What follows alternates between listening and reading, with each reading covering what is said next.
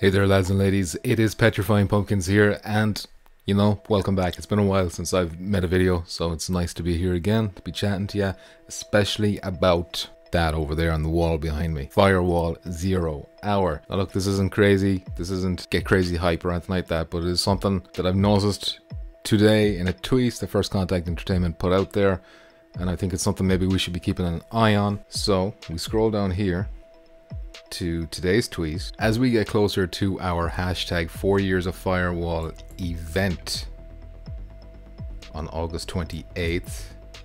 Let me just highlight that because that's the interesting part. We'd like to know your favorite skill in Firewall Zero Hour. Now the rest of it isn't particularly important to what I'm talking about here, but what we should be focused on is the first part here. They got a hashtag going, hashtag 4 years of firewall which I don't think they did for three years or two years. I can't remember. I'm not 100% on that, but I don't think they did like this hashtag thing. And they're now they're talking about an event on the 28th, which I definitely don't recall them talking about. Now you might think to yourself, well, it's probably going to be another season.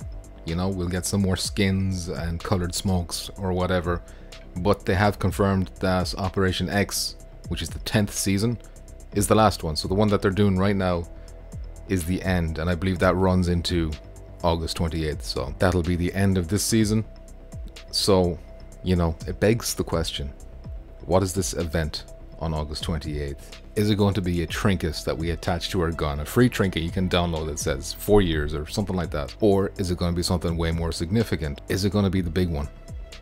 The one we've all been waiting for. August 28th is over a month away. That's enough time for us to learn some more about PSVR 2 maybe, and maybe Sony will be more freely announcing games that will be available for PSVR 2. Could it be that this is teasing something for PSVR 2? Are we seeing a sequel? Is it Firewall 2? The Holy Grail?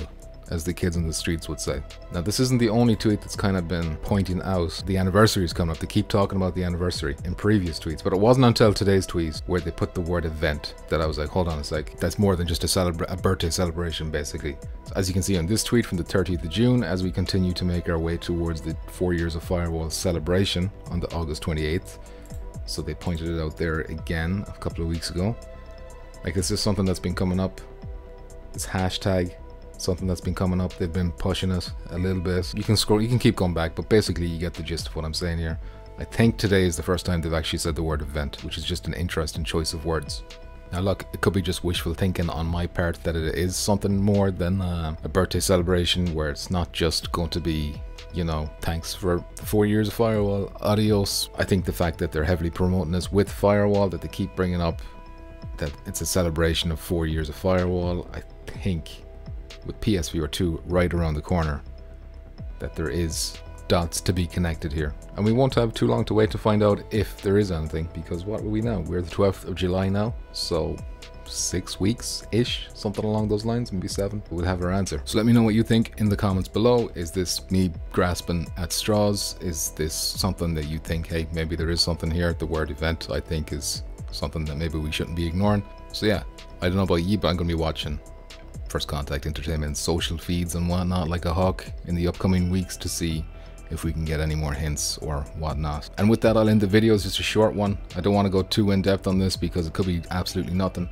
and it's not much to go on anyway. You know, it's all speculation, of course. But before I do end the video, let me thank Dicepticon for letting me use his music in all of my videos. I believe he has a new album on the way. He's already got a couple of songs finished, so you can look forward to that. And I'll have a link to him in the description as well. And with that, I'll end this video thank you for watching lads and ladies. If you're looking forward to you know future firewall stuff or psvr 2 stuff in general maybe consider subscribing sticking around. We'll be covering that stuff uh, hopefully with more frequency in the future. Until then lads and ladies please stay exceedingly moist